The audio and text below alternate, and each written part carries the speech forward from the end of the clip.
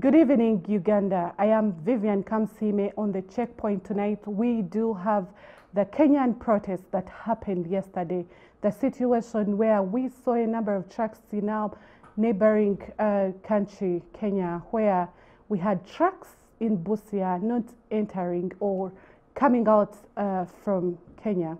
We do have with me on the panel Mr. Joseph Ochieno, analyst, to talk about this situation, but also within the show, we are going to be talking about the parish development model.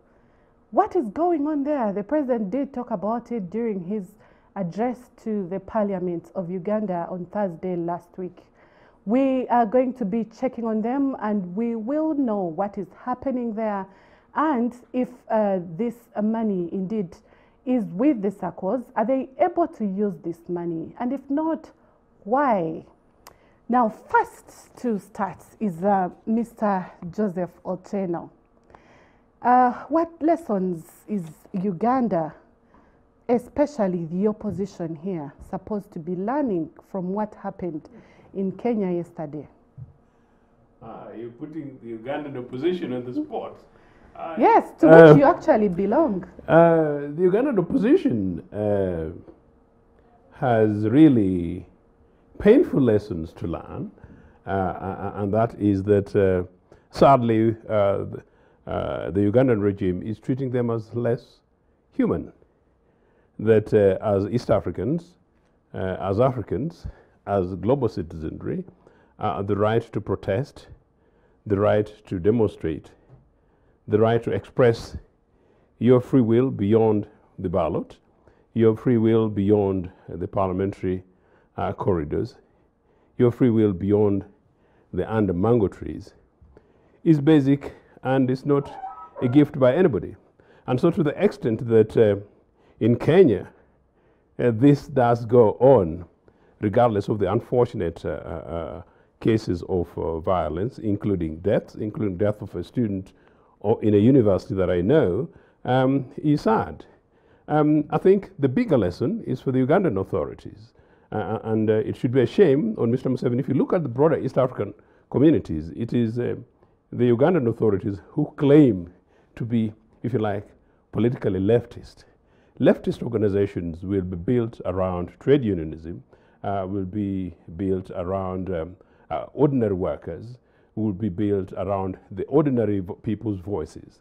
Uh, and that in this case, if uh, ordinary citizens feel dissatisfied, and in Kenyan case, obviously it was unfortunately a case that although the elections there were concluded, and although the elections were concluded through uh, a court process, that uh, Kenya is a divided society. Which is uh, democratic, and I think that it is only honorable that um, the opposition there, the Azimio leadership, recognizes that the presidency that is ruling in Kenya is legitimate and not illegitimate, as was one of their reasons for uh, the protests. The opposition in any country have got a right to, to, to, to take a position. In this case, the Kenyan opposition. By the way, up to today, the servers, the servers in uh, the electoral in, in, the election commission of Kenya have not been opened. In fact, the religious leaders only the other day, I think one of them, very senior clerics, were saying that uh, if the, the, the, authorities have got nothing to hide, uh, why don't they expose them? Why don't they open it? Legitimacy is a very important thing in, in, in politics, number one. And then number two, uh, opposition will have their grumbles. Can you imagine Mr. Museveni today still thinks he was rigged out of power and instead of going to courts, he went to the bush. So it could be worse.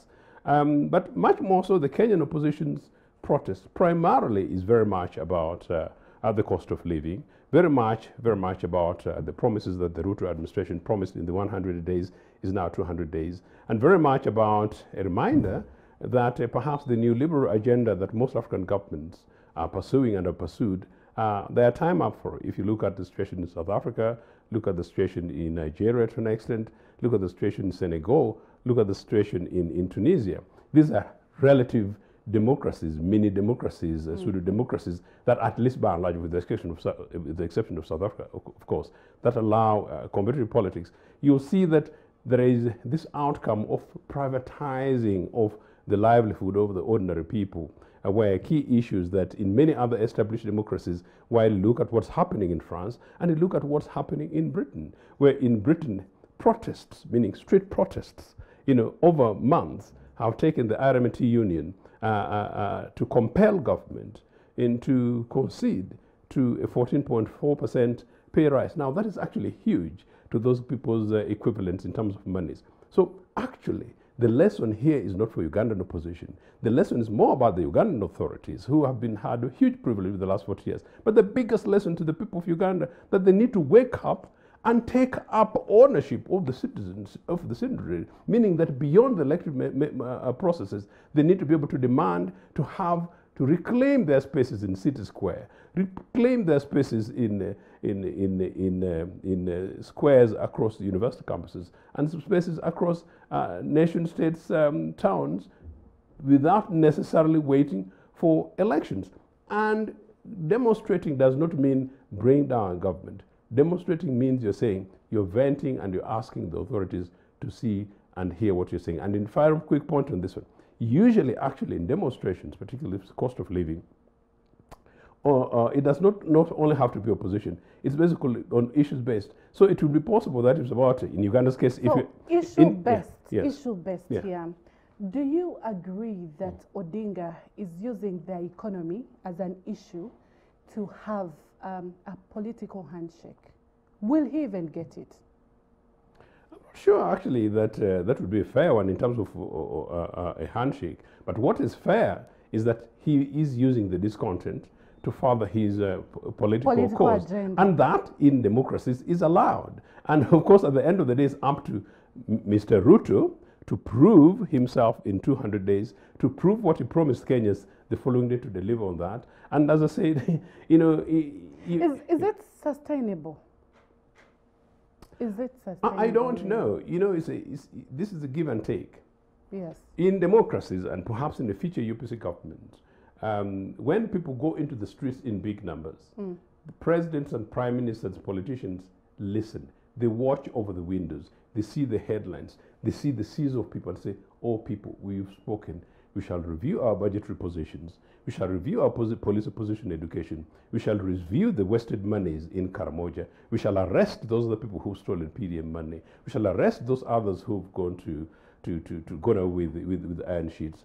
And in this case, we shall make sure that instead of wasting money on tanks that fight air in particular corners on the way to Congo, we shall invest much more in infrastructure so that uh, really the road to Luzira is not as bumpy as the, it is this evening. That's quite an interesting one. But um, you will realize that these protests are actually hurting the Kenyan yeah. economy. Is this the vehicle that Mr. Odinga should use to deal with the grievances of the people? Because he also knows that, um, or he is experienced enough to know that mm some of the issues that Kenya is facing are the same issues on the continent, on the global stage, because we have had these global shocks to do with uh, COVID 19 and its related um, issues. We have had the Ukrainian war, where grain mm. exportation from there has been a problem. Mm.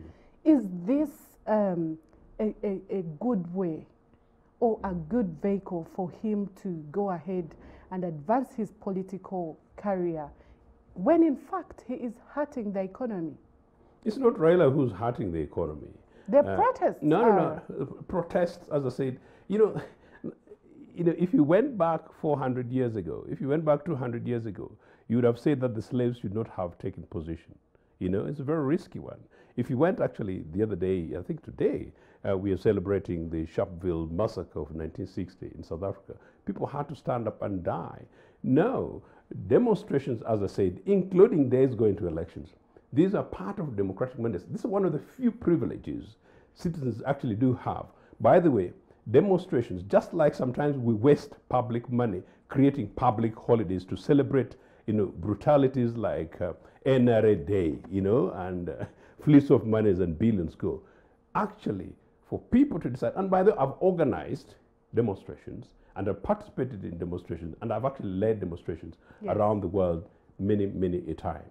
All you simply say, and including actually striking workers, you know what, what, what striking workers normally do, and, and have had to pay for that, is the case that the day you decide to withdraw your labor, you know, you will not get paid. So there, there are many ways in which we gift ourselves. You do that, but the authorities say that, look, if people are complaining about cost of living, in Uganda's case, if people are complaining that corruption is too much, then you should, uh, as authorities, say that, well, we shall stand up for corruption because, you know, if you don't, public opinion will hurt you, number one. Number 2 mm -hmm. if you mm-hmm. don't, you will be hit at the polls. Or three, if you don't, people will go to the streets.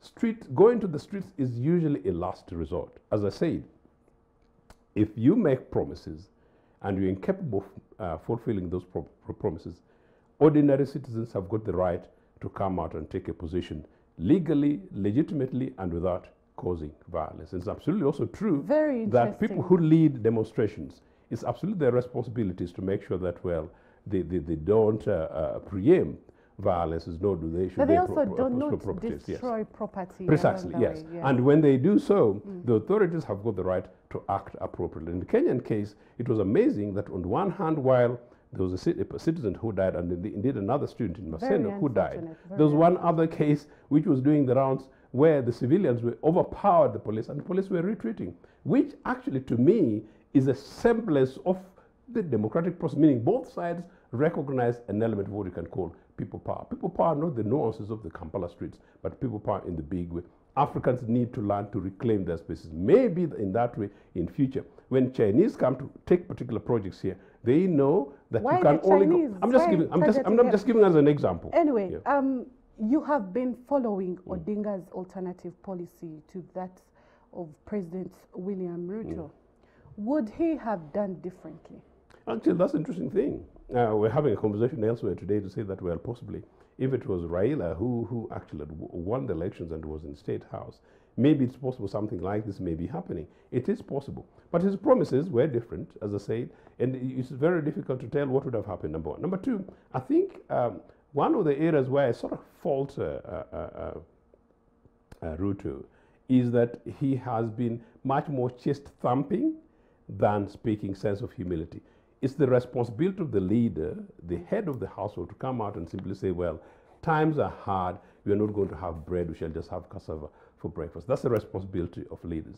Now, um, I was talking about the global element of the ideological thing about, the, if you like, the countering of the neoliberal agenda, that maybe this is the time when African governments, African economies need to look back and simply say that they bit too much of uh, structured adjustment programs of IMF and that the whole thing is hurting the ordinary citizens. And so maybe we should start with the reviews in Uganda. And for that, uh, actually ask political leaders for various political, political parties in this country, including the, the, the, the, the NR regime, that we begin to review pushing for profit versus pushing for our people. In which case, therefore, investment in education, investment in health, investment in infrastructure, making sure that we pay our people diligently. And the more we're able go, to do Mr. that, the less Joseph there will be protests. Ochieno we are going to be looking at one of those elements that you mm. just talked about, and that is the parish development model. Now, um, on Thursday, the president said that um, out of the 10,594 uh, PDM circles that were targeted to be formed, 9,538 circles have been formed. That means 90% uh, target has been hit.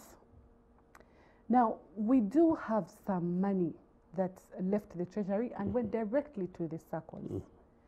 I do have uh, the executive director of Uganda Development Forum, Dr. Edward Katende, with me to answer questions about some of these things and how the parish development model is doing. How is it doing, Doctor? Um, we are at the moment in the parishes, eh, but it has been a long process. A long process that, of course, started with announcement that government is bringing socio-economic transformation, uh, starting with the households that were in subsistence economy, and they, they used the statistics of UBOS, which is basically a survey that, that was done in 2016 that revealed that about 3.5 million households, about 17 million Ugandans were in subsistence. So government came out to say, look, this is still unacceptable. Uh, we need to focus our energies to getting those people out of subsistence. So that announcement is made. So the first activity was to, to, to establish uh, the national structures, uh, where you have the parish development model circle, Yes. which is a conduit. It's a bank at the parish level, if we can put it in simple terms, a bank at the parish level. And it must basically uh, operate like a banks operate. Unfortunately, uh, most people have been used to freebies. Uh, they've been used to getting donations from the government, and they're still seeing the parish development model as one of those cases where you get you just walk in, or you're seated like we are seated here, and the Nabbanja money shows up on your phone. This is different because we are setting up a bank at the parish level to do what? To finance Ugandans that have viable business ideas that are agrarian in nature. It could be growing of, of say, coffee. It could be uh, farming of, uh, say, pigs or poultry. Poultry. But it can also be an enterprise along the value chain, like making juice, uh, chapatis, uh, anything. It's Mm, added micro. to coffee. Yeah, and You do not finance enterprises if someone wants to open a shop. yeah, we, example. yes, the parish development model is mainly focusing on the agricultural value chain. Okay. Um, and so, where are we to get this bank operational at the parish level? You need to first build the foundation for it. And that foundation means having the bank itself, the SACCO, which is a cooperative uh, established under the Cooperatives Act. It's a long, long process. But just to cut the long story short, uh, the members come, they come up with the idea, they meet, they form their SACCO. And the, that's where the elephant in the room is. Yes. I think the devil is in that detail. Yes. So, so about. before you, after that, Mm. once the bank is in place, the leaders must be trained on their in responsibilities. this case, when you're saying the bank, you mean the circle? The SACCO. I'm Yes. calling it a bank because I don't want Ugandans to continue thinking that parish development model is Museveni giving out free money to my household. Yes, the money is free to us, the parish. One million shillings per household Uh, not necessarily. 100 million per parish. per and annum. when it arrives in the parish, the parishioners will come up with their ideas. But your idea could, the, the financing required for your idea should not exceed 1 million. Okay. But it could be 500,000, it could be 400,000. It's basically microfinance. So that means that every SACCO did not receive the same amount of money or was not meant to receive the No, same there amount. is a, it's a flat figure of 100 million at the beginning. That is at the parish level. at the parish annum, level per annum. But uh, from the parish, because Yes. you, what happens is that um, you do have a parish with Yes. a parish chief, who is the accounting officer, having to uh, uh, uh, to to account for the different uh, circles within the parish. No, And you actually have a committee. the parish chief is not an accounting officer. Yes. The government of Uganda gives this money to us. The, if, what is your parish? Chirinya. Okay, in Chirinya, you, the members, the residents of Chirinya, who are in the subsistence economy, you come together, you form enterprise groups first. So it could be an enterprise group of coffee farmers, of coffee roasters, of nyama choma people, of uh, whatever it is. Yes. Rabbit. Then farming. those enterprise groups form the circle. Yes? So our donation from government of Uganda to our circle, to our bank, is sent to a bank account. So we elect our leaders as a circle with a board, which is also set up under the Cooperatives Act, with a loans committee, with a supervisory committee, which oversees the operation of the circle by us, the members. Okay. So, So- it is so- the committee so that pa- also vets your budget. Exactly. So the parish chief has no role in, my, in our circle, apart from, of course, uh, monitoring uh, what is happening, like all other government agencies, politicians, recently, so the ministers, you say the members of parliament going to observe, to, Yes, to monitor. see So the parish chief, his role there is to monitor. But it is our circle. It is member owned, it is member managed, it is the benefiting members. So the money, once it arrives in our circle in Chirinya, then people present their ideas. And those ideas will be vetted by the loans committee. And the vetting is not just looking at the paper. So there is a desktop review, which is basically looking at the papers to ensure that you meet the criteria. For example, if you, you, you are not a resident of the area, so we will not proceed with the application. For example, you want to borrow to, to establish a shop, a shop, will not. But if you're saying, I'm going to establish, say, a coffee farm, then the committee will after doing the desktop review, will come to your place. Say, show us where this farm is going to be. And you must show readiness that I have an acre, I have cleared the field, which is now your sweat capital. You must make your own contribution as well. I have cleared the field, I have measured, I have dug the holes, and here is the readiness. I only need 450 uh, seedlings. Okay. To each seedling costs so much. So we- I want therefore to borrow this money from the circle. And once you meet that criteria, you, the circle will agree that we are lending uh, Edward uh, whatever amount you're, you, are, you are borrowing, as long as it is not more than one million. Okay. Thank you very much, Dr. Edward, for that elaborate explanation on how this model is working at the grassroots. But we are going to be taking a short break. The devil is in that detail, and we are going to be lifting the veil to find out what is going on inside that uh, details that Dr. Edwards just explained to us. Please do ready. Please do stand ready to join us just after this short break. Thank you.